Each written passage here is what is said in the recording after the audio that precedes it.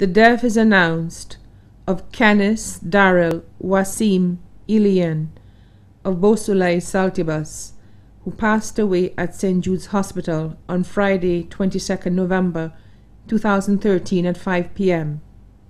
He was eight years old. The funeral arrangements of the late Canis Darryl Wasim Elien of Beausoleil Saltibus will be announced in a subsequent broadcast. The body now lies at Lazarus Funeral Home, Uddock Road, Vieux Fort. May he rest in peace.